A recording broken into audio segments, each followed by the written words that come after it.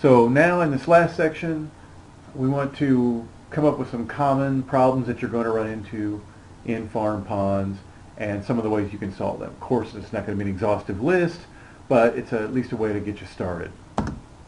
Um, now, I actually have some data on this. Dave Wyffels, for his uh, part of his thesis, did a survey of about 30 pond owners here in western Illinois. And most of the survey was a repeat of one that the DNR did back in 1963. So you, are looking at a nice, uh, nearly 40-year spread between when these surveys were given. And um, found some interesting results, I think. If you look at uh, the general class of problems here, the number one problem in both 1963 and 2004 was excessive vegetation.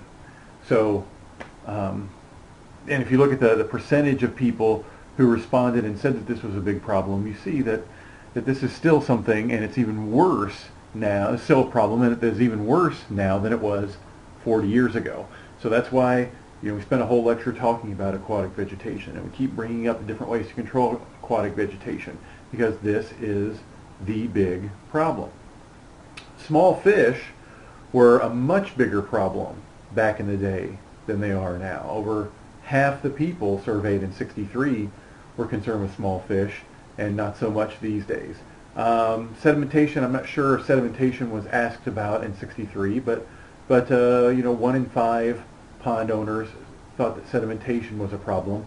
I would probably argue that this is an even greater problem. A lot of people are unaware of how much their pond is actually filled in.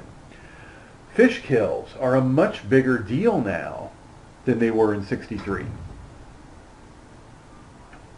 Now we can think of many different possible reasons why this is true.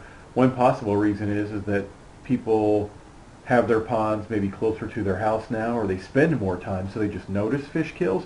But this also could be a direct result of poorer water quality and, and more fertilizer being used in the watershed. Turbid water, uh, although not being a huge problem, is definitely not nearly the problem that it once was back in the day. Uh, another, uh, one potential explanation is that people are not using these as much for watering livestock, and they're using them more exclusively for recreation. So you get the livestock out, the turbid water problem tends to go away. Undesirable fish species definitely dropped off. And if I look at all these numbers in, in general, I could make some arguments here. I could argue that it seems like the fish portion of fish management we're kind of figured out or we're, we're, we're doing very well at you see that, that small fish are no longer a problem. That has to do with, uh, think of when ideas like the, the PSD and, and that were developed in the 60s, 70s. So the, the problem of small fish has, has been diminished. Um, and desirable fish species, those problems have gone away because we are better at educating people and we know more about what species work, which ones don't work, what do people want to stock, what what can they stock? You know, there might be easier access to the more desirable species now. But I think we're losing the watershed battle portion of fish management in that the watersheds are becoming more, clearly the watersheds are becoming more agricultural and this is having an effect on the water quality. That's why you have even worse vegetation problems because there's more nutrients. That's why you have even more fish kills because there's more nutrients. And so that would be my argument is that um, we need to do a better job of educating people about the watershed and how the watershed changes are going to affect the pond. Okay, so if you've got problems, any of these problems or any other problems, the easiest solution is to just do nothing. Just leave it alone because it might not, you know, or, or, convince yourself that it's, you know, this is how the pond is going to be and, and just learn to, lead, to live with it. That's not very satisfying. Um, for some people, that's the only way they solve problems. But, you know, if you're a fish manager, this is not a solution for you. We're in this business because we think that it's worth putting some effort in to try to make things better. The next easiest solution, the one that, that, that you reach for a lot, is just call a do-over. Just whack the pond. Either drain it, rotenone it, drain it and rotenone it. Um, just hit the reset button and realize that when you start a new pond, you'll have several good years of good fishing and clean water, and eventually, um, if you don't put any effort into it, it's all going to go to heck, and you may have to start this over again. You know, that's possible. That's expensive and kind of a pain. So we want to find solutions that are maybe in between these two extremes. So vegetation, as we said, is the biggest problem and it's something that you're going to have to deal with a lot. There's still a lot of education that needs to be done here. In Dave's survey, most of the pond owners attack their vegetation problem with copper sulfate, even for macrophytes. Copper sulfate I don't think works very well with emergent vegetation and macrophytes. Copper sulfate is more of an algicide, and you need more traditional herbicides for the um, emergent vegetation. Uh, of course, the best way to solve the vegetation problem is to reduce the nutrients. And again, this goes back to educating people about the watershed and what they're putting on their watershed is making it into the pond. We've talked about the mechanical, biological, and chemical ways to treat vegetation. Again, there's lots of detailed information out there. Different people have had success with different things. In general, glyphosate, rodeo, works very well for macrophytes. You need to use um, the rodeo, not the Roundup. The, uh, the rodeo has been licensed for aquatic use and it contains, I think, a surfactant or it contains another molecule that helps the glyphosate get into the aquatic vegetation better. But it's effective, it's widely used, um, it seems to break down. It seems to be relatively non-toxic, but again, anytime you're using chemical, you need to be careful with it, realizing that chemicals also just require, you know, they require energy to produce the chemicals. Uh, the glyphosate uh, uses a lot of phosphorus, the phosphate mines. So, you know, somewhere in that uh, product stream, that there is uh, an increased impact on the planet by using these chemicals. But um, having said that, you're using small amounts uh, that are targeted in very specific applications and relative to what's sprayed all over the country, what you're using in your pond is going to be a very small amount. So you can decide whether or not you, you feel that that is um, something that needs to be avoided. For duckweed and watermeal, uh, sonar is a, a much better choice. Uh, duckweed and watermeal are a big problem in a lot of ponds, and they can make it just completely undesirable to go, even go down to the pond. So this can be a big problem. The best thing to do for duckweed and watermeal is have the wind blow because it just blows it all up on the shoreline. But in ponds that are down in a valley that are surrounded by trees, this is where you tend to have problems with duckweed. Sonar is expensive, but it does the job. Again, um, copper sulfate is very good for controlling algae. It seems to be relatively benign. It's used in drinking water. Uh, barley straw is also a, a biologic uh, molecule. You take a bale of barley straw and throw it in the pond, and as this breakdowns, it creates things like like humic acids and um, some other molecules that tend to um, actually I, I think of the humic acids and some of the other molecules tend to combine and produce like um, something similar to, to hydrogen peroxide. Um, I can't remember exactly how the mechanism here, but suffice it to say that it actually does produce compounds that help to, re to reduce the algae in the pond. But the caveat is, is that you need some sort of circulation. Uh, just throwing the bale in one corner of the pond often is not going to do very good, do very well because the, the bale won't break down as quickly and the, the chemicals will not be spread throughout the lake. But if you've got, say, um, a flowing water into the lake or if you can spread it around the lake or if you can throw in an aerator to help stir the water, those are all going to help the barley straw be effective. Okay, siltation.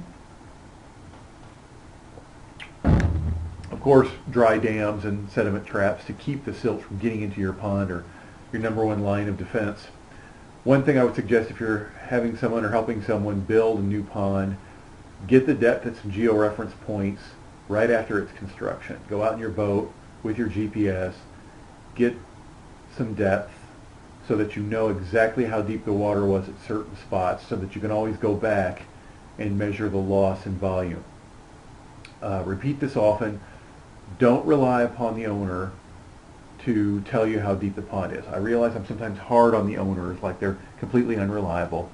Um, that's just through experience. It's not that people are liars. It's just that, that, that people are often mistaken. They, they often make assumptions.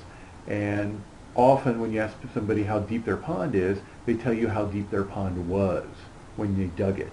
But they don't go out and measure it directly, and they're often surprised at how silted in the pond can be. Uh, of course, controlling the erosion along the banks and in the watershed is the best bet for stopping siltation. Uh, high inorganic turbidity is often a problem in farm ponds. Brown water, right? So a lot of places, a lot of sources of this. Um, sometimes the substrate is of a particular composition that it tends to get stirred up easily. Often this is due to carp or bullheads that got in the pond and that are stirring it up, or cattle that are getting in the pond and stirring it up. So get rid of those is going to help a lot. But once that stuff is in suspension, you need to get it to settle out. There are different ways that you can do this. The cheapest and, and easiest and often the most effective way is to add some sort of positively charged molecule. Usually this turbidity is a small negatively charged clay molecule and it's so small that gravity's effect is less than the magnetic repulsion amongst the negative charges. And so the particles can't settle out because gravity is barely pulling on them, but then they get near another negatively charged molecule which actually pushes them away. And this is called Brownian movement. This is sort of the random movement of very small particles. And so you need to do something to help these things settle out, and that something often is adding um, a cation with a positive charge that will bind to those negative charges. Now you've got a big, heavy neutral molecule that can sink. Limestone, calcium carbonate, is probably the best way to go. It's cheap, you can get it easily, it dissolves easily, you can add all you want. All you're going to do is improve the buffering. And in my experience, it works great. I use this in my parents' pond and did a fantastic job. Gypsum also will work, cal calcium sulfate.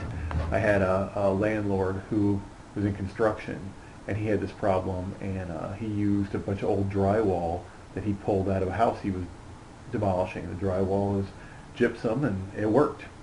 Um, some people recommend throwing in a regular hay bale, not barley straw, but a regular hay bale.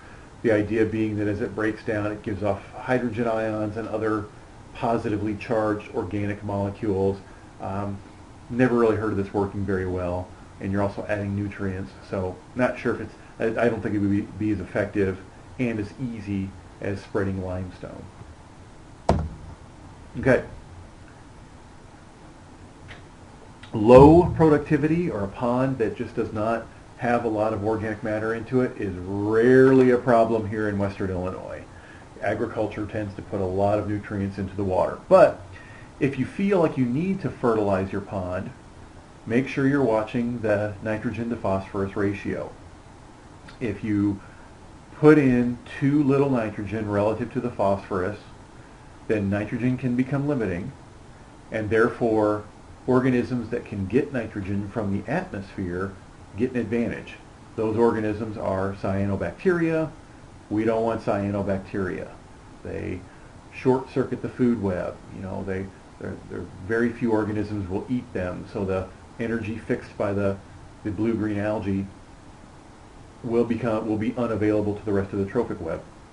They produce toxins that can be mildly irritating to humans and have been known to kill like dogs and small organisms. So we don't want them. So you're looking at a minimum 20 to 1 nitrogen to phosphorus ratio, maybe even higher. You got to be careful with the application. Uh, you can go overboard, of course, and you get too much productivity, and then you're going to get lots of decomposition, you're going to get anoxia, uh, you get lots of respiration at night, and so you could cause a fish kill that way. Be very careful with the timing. You don't want to do this in the middle of summer. That's when you're most likely to have your lowest oxygen levels and you're most likely to have problems with these. So you want to do this early in the spring, maybe in the fall.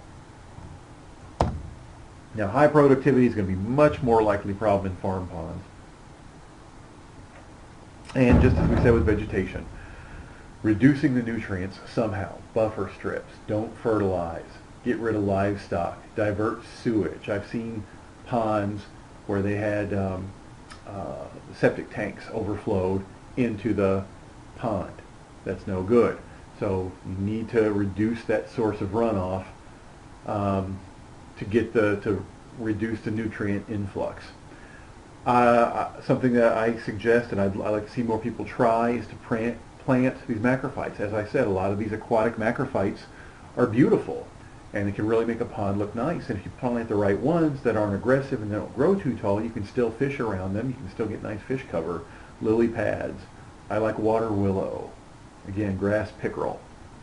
And then they're going to suck up the nutrients um, before the algae can get them and maybe even shade the water some. Aeration uh, can be very good. Uh, it helps to counteract the, the loss of oxygen due to decomposition and respiration. Also, as you aerate the lake, if you can mix the bottom layers and you can mix oxygen from the surface down to the bottom, of course keeping that uh, oxidized zone near the sediments will keep the phosphorus locked up in the sediments. Uh, note that there's a difference between um, aeration and a fountain. Aeration tends to be when you put a heavy-duty bubbler at the bottom of the lake, and so you're pushing that water as the, the bubbles come up. It pushes that water up. It helps to stir the lake, and that's designed to de-stratify the lake. That's the best if you're trying to reduce productivity and increase the potential habitat for fish. A fountain tends to take water from the surface and shoot it way high up in the air. Those are mostly for decorative reasons. Okay, certainly they're going to aerate as that water gets sprayed around, but they're only mixing at the very surface. They're not getting that huge volume of water down at the bottom. Um, and, and if all you're trying to do is mix, you're wasting a lot of energy by shooting that water much higher than it needs to go. Aquashade uh, is becoming much, much more common. It's very affordable, and it really seems to do a good job. You know, when this first came out, it seemed like uh, people were adding too much, and it looked like a toilet bowl. It didn't look weird, but now there are different companies and different mixes and different colors that look more natural, but they're still sucking up those photosynthetically active wavelengths of light. And um, we, we've been using this in my dad's pond, and it seems to do a really good job. Um, now, again, I'm not sure, you know, certainly these help to shade out the macrophytes from growing too thick. How much do they help with the phytoplankton? I don't know, but it can't hurt. Uh, one of the new things I've been seeing are these bacterial solutions which enhance decomposition. The idea being that if you have more of these heterotrophic bacteria and certain heterotrophic bacteria, they'll speed up decomposition. And so then these, uh, instead of this continuous slow release of nutrients, the nutrients get broken down, but it only works if you've got a high flush rate. And so you've got these big organic molecules that tend to settle. If these bacteria break them down into their basic nitrogen and phosphorus that gets into the water, and then the water, and then get flushed out, that's going to be helpful. A lot of ponds don't have that good of a flush through rate though. And so all you're doing is going to, it's going to be counter, what you're doing would be counterproductive. What you'd be doing is enhancing decomposition, getting those nutrients into the water column, and actually stimulating a bloom. So I think that you need to be a little bit more careful with these. I haven't used them very much, I don't know that much, but it seems to me that without that flush through, you're going to have problems. Another thing we talked about that I don't have in this slide is this Phoslock, which seems new, which is a kind of a clay that locks up the phosphorus and is supposed to kind of make a little cap on the bottom to help keep that phosphorus in the sediments. Be interesting to see how well these things work. Okay. Another potential problem that we might have is spillway mortality. A lot of fish like that running water, and when the water starts going over the spillway, out they go. And so, as we mentioned before, having a screen on your spillway is always advantageous. Either design it with a bow in it, which makes it less likely to, to clog up, or just make sure that you're checking it because you don't want that thing to get clogged up and your water then to rise and to top the dam. Um, maybe you can have a, a, secondary emergency spillway in case that happens, but the easiest thing is to make sure it doesn't get blocked off. Now, if you don't have a lot of trees around the pond, there's not going to be a lot of debris coming through that can block that off. Um, you also always want to think downstream. So again, when I talked about stocking hybrids or stocking um, species of fish that you're getting from a different watershed, you know, from a hatchery that gets their brood stock from a different watershed, don't forget that if those fish get out and can make it downstream, you want to make sure that they're not going to have a negative influence on the fish in the receiving waters. Again, with a lot of farm ponds, it's not really a problem because they're not near any natural streams. Okay. Feeding fish is a great um, way to interact the fish with the fish. It's um, something that's a lot of fun and can really enhance the fishing experience. This is one of the ways that I can think of, at least it's probably the only way I can think of, to where you can get a pond where you've got big bluegill, big catfish, big bass. It seems like you need to have small bluegill so you can get big bass, or you need to stunt the bass out so they eat most of the bluegill so the bluegill get big or what have you. But if you're adding feed, now everybody can get big and fat. Of course, you have the same caveats as with fertilizer. You know, you're adding nutrients to the water, so if you feed too heavily, you can't have water quality problems. You can feed the fish by hand, um, automatic feeders are affordable, um, but on-demand feeders are something that I don't think a lot of people use that I think are very nice for farm ponds. And I, I've been trying to, to make some of these on my own. I think you can rig this up on your own, or you can buy one pretty cheap. Basically, it's just a bucket with a funnel at the bottom. Fill it with feed. It's got a rod that extends out, and as you jiggle that rod, a little feed gets released into the water and you can kind of train the fish, or eventually the fish learn that if they bump that rod, that they get feed. And once they do that, they're it's awesome, and and it's been shown to do a really great job in aquaculture because you're not feeding the fish on your schedule, you're feeding the fish on their schedule. So they eat when they're hungry, and if they're not hungry, you're not wasting feed. And of course, there's very few moving parts, and, and if you're not down at the pond all the time, it's a way to feed the fish without a whole lot of maintenance. Hand feeding is an awful lot of fun though. It's a great way, um, kids love it, it's a great way to see what you've got. If you use floating food, you can kind of see the fish, you can see how well they're doing, you can see how much they're eating. If they're not eating very much, if there's a lot of floating feed left over, that might tell you that there's a water quality problem. But it's just so much fun. Um, I had a buddy who had uh, living on a small lake, and, and they would feed the fish, and they would go out on the dock and stomp on the dock to before they fed, and pretty soon the fish learned that, and so you would go stomp on that dock, and you would just see ripples. The fish would just from all over the pond, man, they would rush in. It was so cool. My parents, when they used to feed their pond fish, they'd come down and throw the feed in the water. They had two metal coffee cans. They'd bang them together. Man, the fish would come and just boiling water, so it's, it's really a hoot. Okay, another common problem that is becoming more common, river otters. Um, they can wipe out a pond in a matter of days. That's not an exaggeration. And they will kill fish just for sport, just for practice. Okay, they will take fish and throw them up on the bank and just line the pond with dead fish. And they're very good at it. And since they're numbers are coming back. We're going to start seeing more and more problems with these. They have been delisted. I'm pretty sure that they've opened up an otter trapping season here in Illinois, so that's pretty much your best bet is to uh, get a license and trap them or hire someone to trap them. Of course, you always want to double check on that because there may be seasons or uh, uh, sometimes they there are extra steps you need to do, but it's something that you have to keep an eye out for.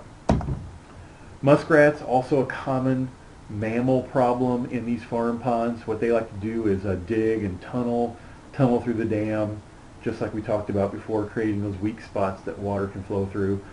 Uh, of course, you can trap them. The best thing is to remove their feed, and they like cattails. So if you got a lot of cattails, first off, you've got a problem, because cattails are a pain when it comes to farm pond, because they can take over, they're very aggressive, they get so tall, they're difficult to fish around. Now, if you can keep cattails sort of up in the shallow end or outside the pond, but where the you know prior to where the water runs in, they're fantastic at sucking up nutrients and sucking up you know stopping sediment, but they're just so aggressive. And if you can stay on top of them, you're you're fine. But they're a favored food of the muskrat, and so if you have a lot of cattails, you might be getting muskrats, and so you might have to to get rid of those cattails. Now, there are a lot of diseases in fish. They tend to be a much bigger deal in aquaculture, where you've got the fish in high density in a small area. You're going to get fish kills. Most of the time the fish kills in a pond are due to oxygen. You don't see a whole lot of um, disease outbreaks in ponds. One parasite that you see a lot are uh, fish grubs, white grub and black grub. And when you see these is when people are cleaning fish and they're in the flesh and it startles people and it's not appetizing to see these little wormy-like things in this fish fillet that you want to eat.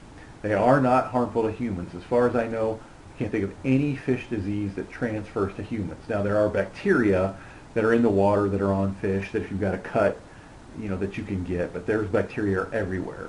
But things like this white grub, this black grub, you won't get it if you eat the fish.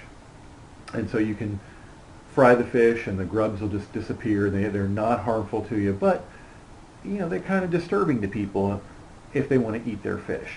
Now they're, they're pretty common. You see adult fish carry them all the time.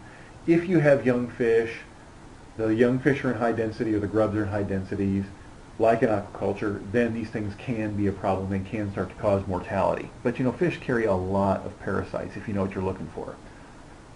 The life cycle includes a bird and a snail. Um, so the fish gets eaten by the bird, then the, the grub gets transferred back to the water where it infects a snail, and then it leaves the snail and goes into a fish. Um, so getting rid of the birds is one way to break that cycle, usually blue herons, but you got to be careful because a lot of these birds are federally protected and there's a, a law against harassing waterfowl, um, kind of a gray area, but you need to be aware of that, that certain birds you can't just, you certainly can't kill them.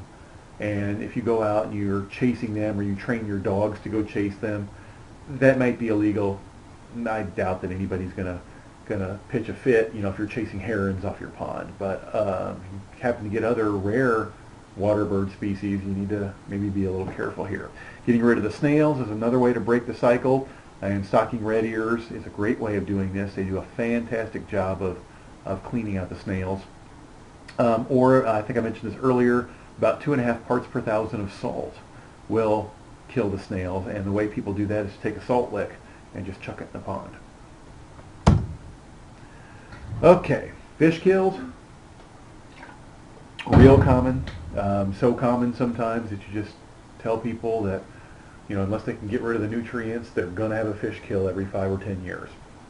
You get uh, um, different kinds of kills in the winter or summer. They're almost always due to lack of oxygen. Winter could be if you get uh, ice with heavy snow, so no light penetrates. That's a pretty common way to get a winter fish kill. Summer, is probably much more common and right about this time of the year. This is in mid-August. Water levels get low, water gets hot, can't hold oxygen, metabolism gets really high, um, respiration and bacterial decomposition gets really high, and you can go anoxic. Every once in a while you can get fall turnover um, that might might get um, you know mix a lot of anoxic water throughout the water column, or you might get a big serious algae bloom. Um, you might get a fish kill then too, but in summer fish kills, it's rarely due to turnover. It's mostly due to anoxia. Of course, this is going to um, be a problem. Ponds that are out of balance, meaning that you get poor fishing, they're often caused by a fish kill. This is an example. I think my dad's pond right now is going through this. We seem to have uh, an abundance of stunted bluegill, and he had a couple fish kills last year, year before. So, just um, the the lack of balance can be caused by a fish kill. Also, lack of balance just is a problem in and of itself. And that's something that needs to be addressed. Let's look at some data on changes in ponds as they age. I think I believe I, I sent you a handout with all these graphs on so you can look at them in larger detail. This is from Dave Whiffle's thesis. And he went out and, and I said he looked at several different ponds. They, he put them in groups of 10-year-old, 20-year-old, and 30-year-old. And he looked at the changes as these ponds get older. And you see a few small trends here. For example, this is a, a length frequency histogram of largemouth bass versus pond age. And it's a little busy, but if you look at the, the black bars, that's your 10-year-old pond, your younger pond.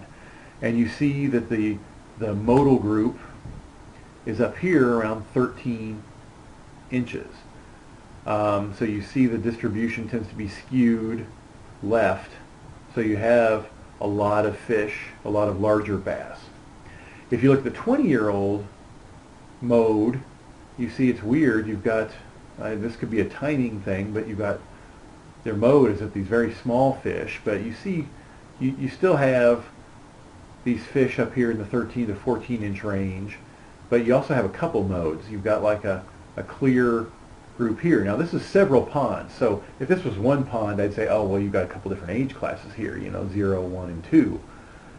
But this is several different ponds, so that's kind of an interesting phenomenon. Now if you look at the 30-year-old, you see the mode shifts, and you've got smaller bass. Now, of course, the 30-year-old and 20-year-old ponds are the only ones where you get a handful of really large bass.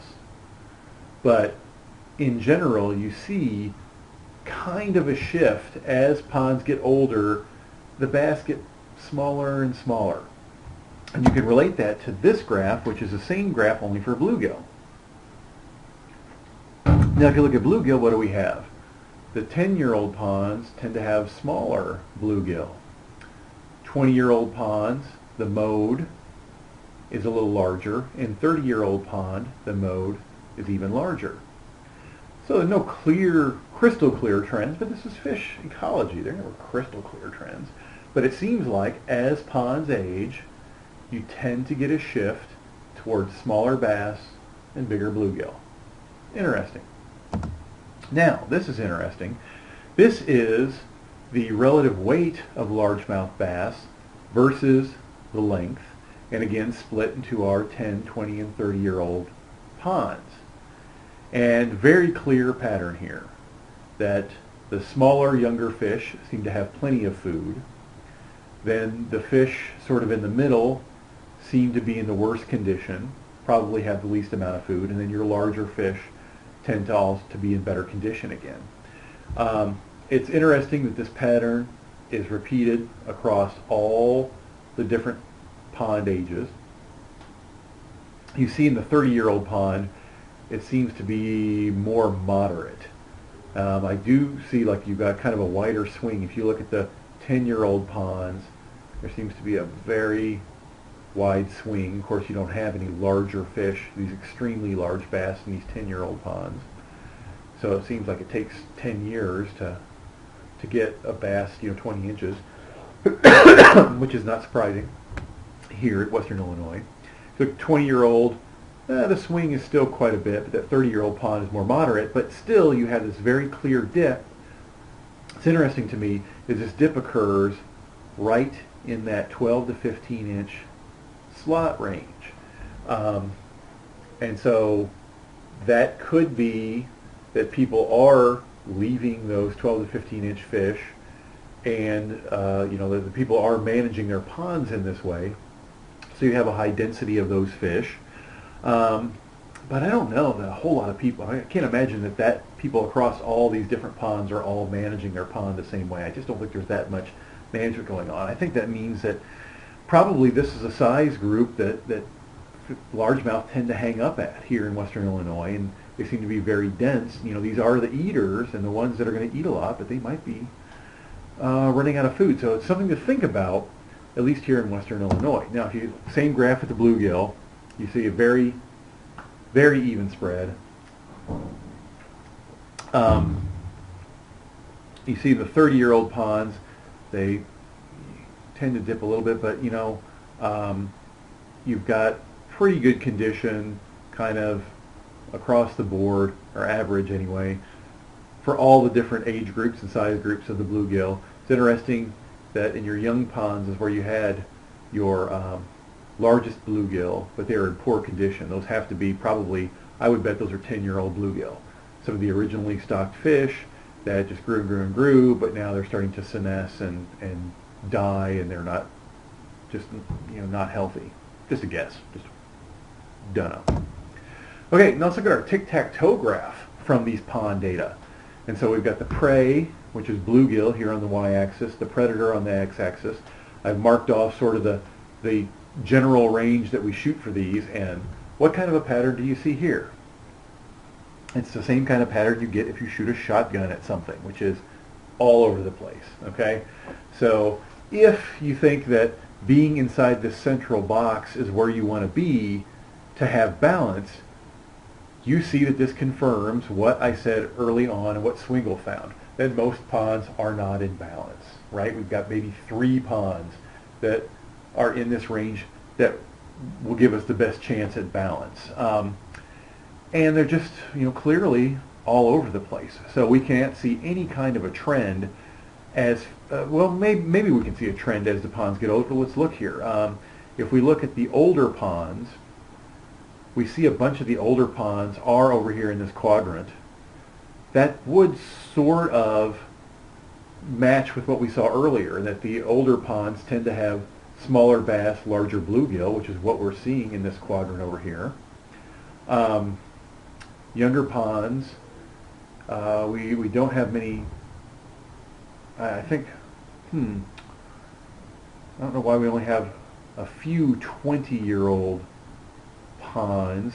I think maybe a lot of them are stacking up here at zero zero. There are several ponds that that uh, oh you know what some of those 20 year old ponds may have also only had um, like catfish only or something in them. But you see no pattern in the 20 year old ponds.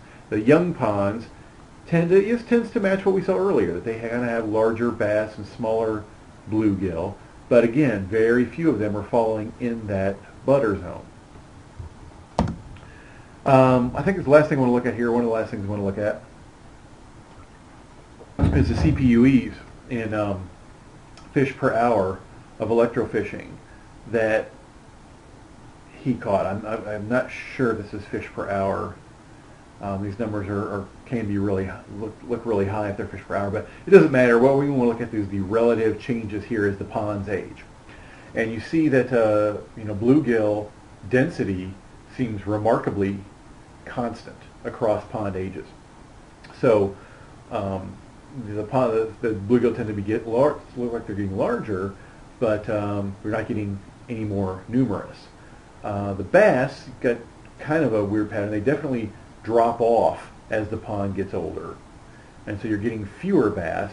You see a big drop off from 10 to 20 and then a sort of a, you know, almost a 50% drop off in catch per unit of effort. So that's interesting that in general the catch rate goes down and then in the older ones it, it tends to pop back up. But remember, in those older ponds the bass are getting smaller. So you have fewer fish and they're getting smaller, which seems weird. You know, I would expect that they were smaller because there were more bass and that's and that they're cropping off these bluegill, but these numbers don't hold that up. Now, if you look at all fish, and one of the explanations for why the, the patterns don't necessarily make sense is if you look at all fish, you see these extremely high values. So if you're looking here, you're seeing a, a um, you know, if you add these numbers together, uh, you're looking at 200, 300, you know, you're getting, add these numbers together, you get, you get close to this number. So mostly bass and bluegill here. But here, you've got a huge jump in the number, and it's not bass and bluegill. And so I'm thinking these probably are a lot of catfish-only ponds that were in there, or something, a catfish are driving this number. Um, and so here you've got uh, 287. So here you've got probably a lot of catfish that are in this total fish. And so that's also going to, to have an effect on the interactions between these fish. So at any rate, what you see here is some interesting trends um, across a, a, large number of ponds and, and as the ponds get older, how they tend to change. And um, okay, that's um, that's all I have for this recording. Now, um, I will say that uh, um, I gave you a lot of handouts. There's a lot of information out there. Um, some of those handouts are probably going to contradict each other, but there's lots of good information. The best thing is to look at information that's that's derived for your specific area, and that's going to that that's going to rely upon the experience of people in your area, and you you know trust that compared to uh, information you get from other parts of the country. But again, you're going to have some different ranges of suggested stocking rates or suggested fertility rates, or and, and there's going to be uh, some contradictory information. That's why you need to get experience and, and you need to use your experience as a professional fish biologist to make the best call when you're trying to give people um, advice for managing their ponds. Um, so that would be all the information I have on pond management strategies. Um, so thanks a lot, and I'll talk to you again a little bit later about reservoir management strategies. See ya.